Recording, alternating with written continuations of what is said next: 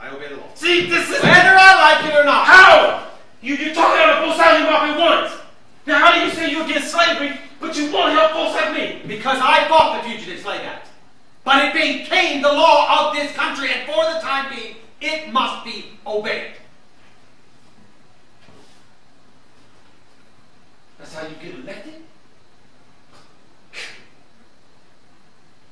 You know, to the majority of the people in this state, you appear to be a, a, a lawless gang of Negroes. By law, I am required to turn you in.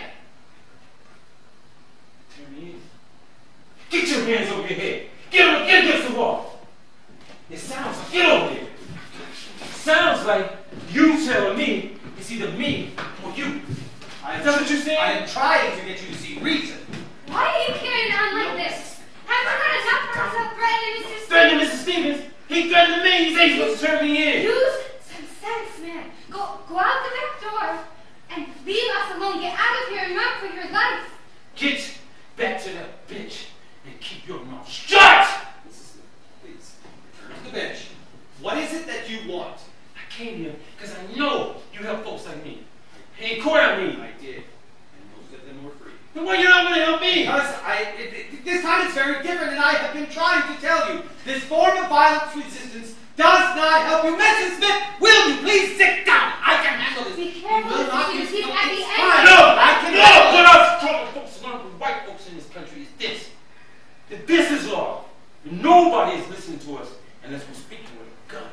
You did not learn that from white They separate themselves from us and they, they put themselves over us and made us slaves. There's been slavery also throughout human existence. People in this country did not want slavery. No. But they split down by skin color and bring the black skin so you can't escape. Please don't. You give me one reason why I shouldn't use this gun to even things out. Huh? Spare thyself. Blow your head off. Silence. Listen. Thou hearest nothing. Thou art not so foolhardy as to use this rifle, art thou? For if thou art, thou canst begin with me, as I am aged, and thou wouldst steal but a few years of a human life. If thou would be most unthinking to do so. There are white men just outside this house. They're hunting for colored folk. If they should hear the retort of a rifle, they would enter in a moment and thou would find thyself in their hands. She's right. You'll be in greatest danger if you fire that weapon. That don't mean I won't use it. To prove that thou art stronger for one moment, To make up for the nonsense I put up with white folks all my life. thou art not more sensible than that. Sensible? White folks ain't sensible. This whole country done gone crazy. Hush up, man. Use some sense. What? You think this country gone sensible? Huh?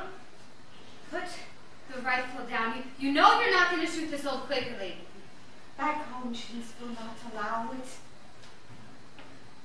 What do you know about my conscience? Huh? Thou hearest the voice of thy inner light, and thy responds with courage. In spite of great danger, thou helpest thy people. But thy means are wrong. But what do you know about what I'm Listen, saying? don't argue with the woman, Parker. Don't make sense to resist the same folks you came to for help. Now, put it down. Come on. Let me have it. Come on. Thou knowest thou wilt never kill me, and would be against thy very soul. So there's one thing I know.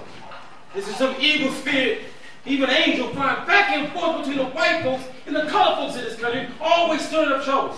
Some sort of evil, evil angel, some evil white devil is what I call it.